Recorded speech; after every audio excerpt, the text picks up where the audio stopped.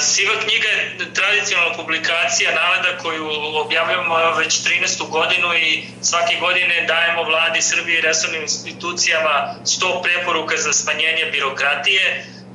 Ono što je do sada učinjeno jeste da je sprovedena u ovih 13 godina gotovo polovina tih preporuka, negde 260 osam je prošlo kroz sivu knjigu u tom periodu, tako da možemo da budemo e, relativno zadovoljni vlade u ovom periodu.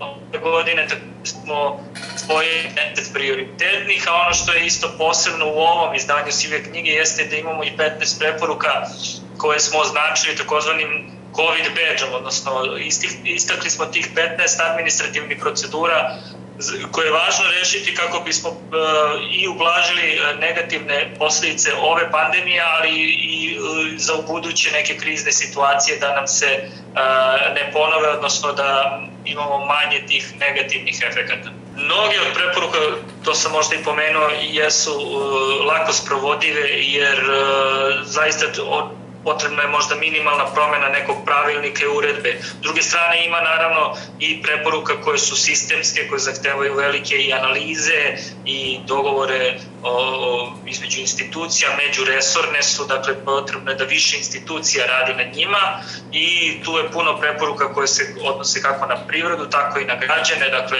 poči od toga da ostavimo recimo registraciju polovnih automobila ili način na koji vadimo lične karte, pa do nekih velikih zaista sistemskih promena kao što je smanjenje poreskog opterećenja rada koje je veliko, na koje privreda ima velike primetbe i koje bi pomoglo i suzbijanju sive ekonomije. Dakle, siva knjiga je zaista jedna regulatorna biblija kako je mi zovemo jer pokušava da obuhvati što a, značajniji deo administrativnih procedura s čijom bi promenom i napređenjem napravili velike korake u uslovima za život i rad u Srbiji.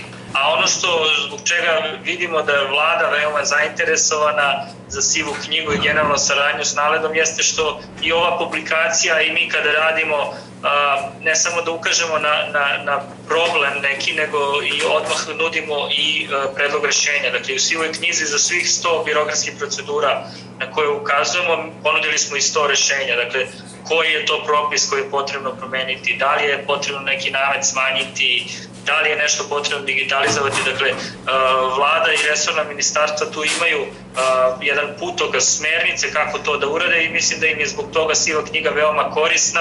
Ono što, bi, što bismo voleli da vidimo jeste da nakon ove godine koju je obeležila pandemija imamo jednu 2021. koja će mnogo uh, aktivnije raditi na sprovođenju preporuka. Dakle, mi smo u prošle godine imali 13 sprovedenih preporuka iz prethodnog izdanja, od toga dve potpuno, a 11 delimično. Dakle, ono što je naš apel jeste da uh, tragamo pre svega za tim potpunim rešenjima, dakle, ne polovičnim, dakle, da imamo što više uh, potpuno rešenih preporuka, a ne delimično.